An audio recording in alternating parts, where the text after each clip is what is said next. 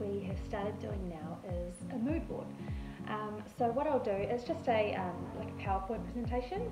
Um, and what I do is I just make the document, I pretty much make it and then show it to Stace so that we know that we're on the same page.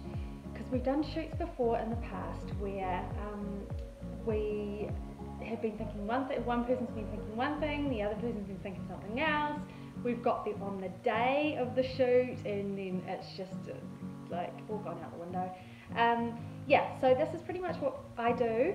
Um, it shows um, the style of shots that we're after because it's so important that um, my vision is portrayed to Stace so that he can get the shots. Um, it's not as easy like for a photographer to just say, yeah, can you just take some photos of that? He needs to know whether um, we're taking product shots, so they need to be more close up images of the actual product or if they're lifestyle shots or, or just whatever. So um, the style of the shots, obviously the outfits that we're doing, the location is really important and just the overall look and theme that we're going for. So I'll show you guys um, what I do. This is the one that I've made up for our styling tips photo shoot. Um, it just basically shows the style of the shots, the location that we're going for, um, the looks that we're doing, what models we're using, and flat lays as well.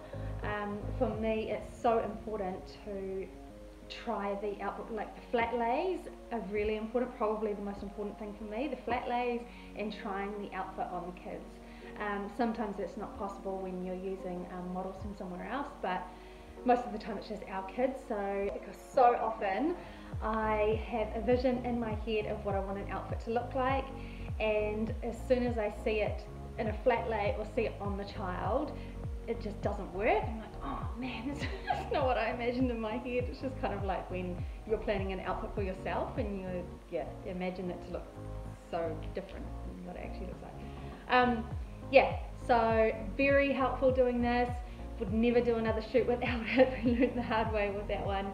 Um, so yeah, I'll show you guys what I've created here. So this is what we've got here. So this is our style of shots. I just pull all these images from either Instagram or um, Pinterest or whatever, Google. We've got our location ideas. And actually going back to the location ideas, sometimes it just doesn't work. Like um, you might go along to your location on the day and something's there that wasn't there when you last looked at it or there's cars parked all along there or something like that. So you kind of have to have a few little plans up your sleeve. Outfit inspo so these are just idea like they're not exact looks that we were doing but just ideas. Like for instance Minnie was wearing some wide-legged pants so I chucked that image in there some fluffy slides a layered tee look Hendrix was wearing that flat lays, flat lays. Um, simple but very effective, very important and very helpful.